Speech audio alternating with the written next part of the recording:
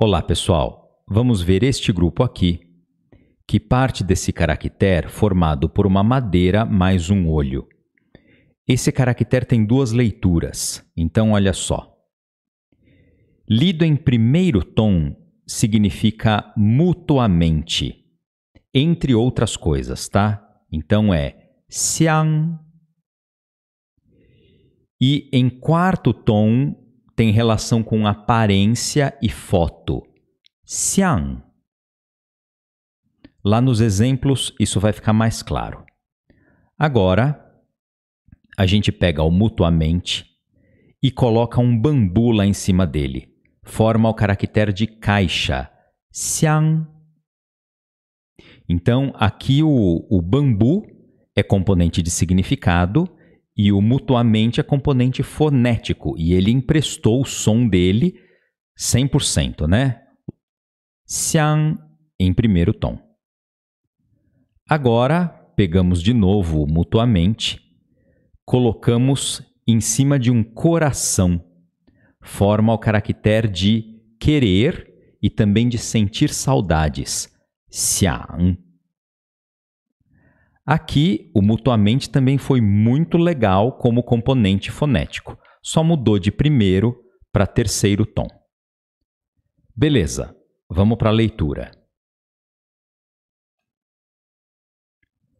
Eu não acredito em você. A gente já viu o caractere sin, que tem sentido de acreditar. Tem também a palavra acreditar, que é xiang xin. Então eu não acredito em você.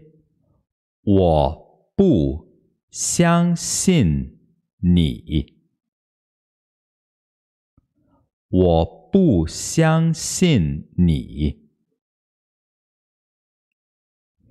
Eles se apaixonaram. Olha só, eles se apaixonaram um pelo outro, mutuamente, certo? Essa expressão é 相爱. Olha só, to love each other, né? Amar um ao outro. Então, 他们相爱了。他们相爱了。Minha mãe não se opôs. Pelo contrário, ficou muito feliz. Bom, vamos ver. Pelo contrário, olha só. Xiang Fan é o Xiang de mutuamente e o Fan, que significa oposto, contrário, reverso. Xiang Fan. Então, minha mãe não se opôs. O mama mei fan.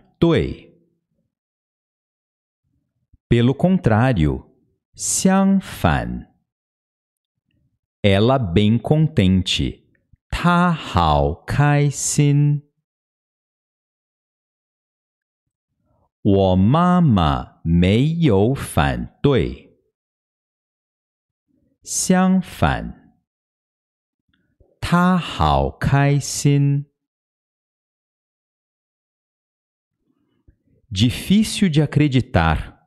Isso aqui é uma. trata como uma estrutura, uma expressão fixa, tá? Nan yi xiang xin. Nan yi xiang xin. Esse nan é de difícil, né? Então, nan yi xiang xin. Máquina fotográfica. Aqui o xiang é lido em quarto tom, certo? Eu até coloquei o pininho aqui, ó, uma colher de chá. Então, xiangji. Xiangji. Xiang em quarto tom tem a ver com aparência e também foto. E ji de máquina. Xiangji.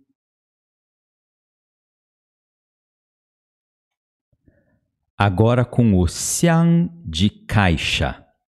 Caixa de correio. Xin xiang. Carta mais caixa. Xin xiang. Dentro da geladeira tem carne. Olha a geladeira. Ping xiang. Ping de gelo mais caixa. Ping xiang. Dentro da geladeira. Ping xiang li. Tem carne? 有肉吗？冰箱里有肉吗？Os livros estão dentro da caixa ou mala. Caixa, a palavra xiangzi. E esse xiangzi é muito usado para uh, essas malas que a gente usa para viajar, para pegar avião, né? Que ela é uma caixa mesmo, tá? Uh, então, os livros estão shu zai dentro da caixa mala, xiangzi li. Shu zai xiangzi li. Agora com o xiang de querer e sentir saudades, que vai precisar de uma boa análise. Então vamos lá. A gente já tinha visto como verbo querer o yao. O xiang também é querer, então eles são sinônimos, mas têm diferenças. Primeiro, antes de verbo, xiang deixa mais claro que estamos expressando um mero desejo do que yao. Por quê? Olha só. Primeira sentença aqui. Eu quero, eu gostaria de ir para a França. Aqui a gente só está expressando um desejo. Essa sentença é com xiang. Talvez você não tenha como ir para a França, né? Mas você tem esse desejo. Então a gente usa o xiang. Se a gente usar yao, ó, essa segunda é com yao. O que que acontece? Sem contexto, é uma sentença ambígua, porque pode estar tá expressando um desejo, né? O, o, o yao ele é mais enfático do que o xiang, eu quero tal coisa. E, e como ele é mais forte, mais enfático, ele também tem sentido de que você precisa ir ou que você, ou que você simplesmente irá. Ele pode estar tá só expressando que você vai fazer aquilo, certo? Uh, então, se a gente só, só quer expressar um desejo, é melhor usar o xiang.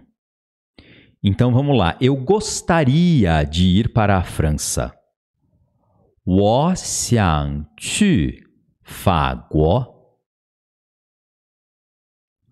我想去法国。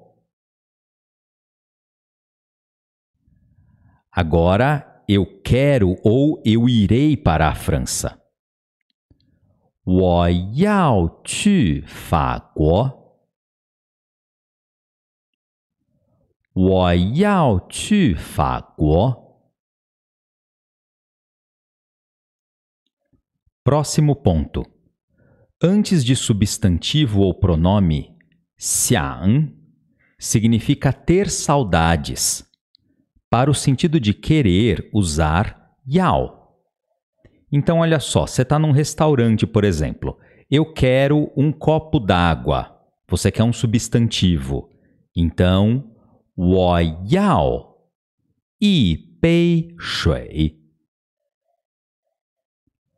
我要一杯水。Agora, com sentido de ter saudades, eu tenho saudades de você, a gente vai usar xiang. 我想你。我想你。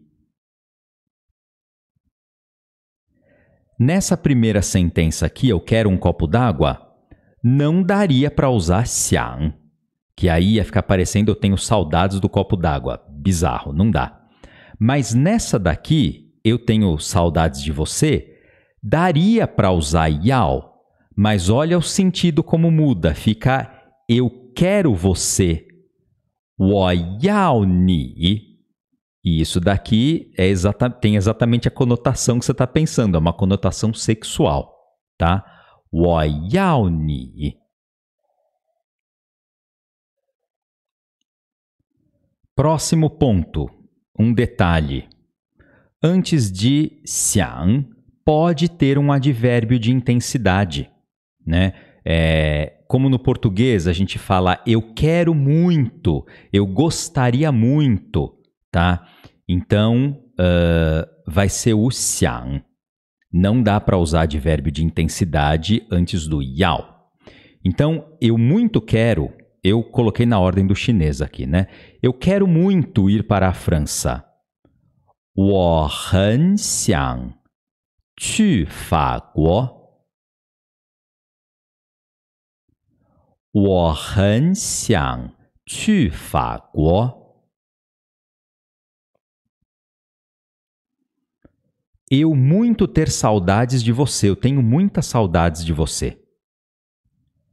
我很想你。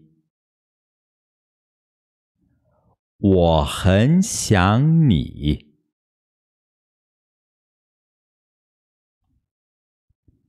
Agora, saindo dessa gramática toda aí, eu me oponho ao seu jeito de pensar. Jeito de pensar. Xiang também tem sentido de pensar. E Fa é jeito, maneira. Então, jeito de pensar, Xiang Fa. Eu me oponho. Wo fan tui. Seu jeito de pensar. Ni de xiang fa. Wo fan tui 你的想法。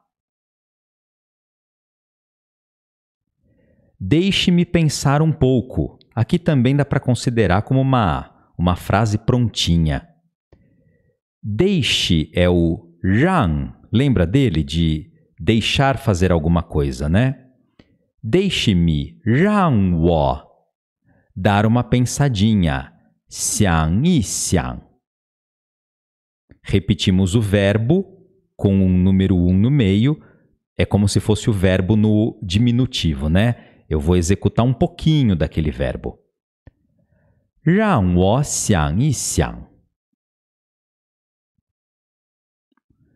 Próxima. Eu não consigo lembrar quem é ele. Eu coloquei aqui, é, é uma gramática, complemento de possibilidade com o ti. Uh, mas vamos tratar como uma expressão fixa, tá? Para facilitar a nossa vida. Não conseguir lembrar é isso aqui. 想不起. Eu 想不起 tal coisa. Quer dizer, eu não consigo lembrar tal coisa. Então, eu não consigo lembrar 我想不起 ele ser quem? Tá shi shei? Wo xiang bu qi tá shi shei?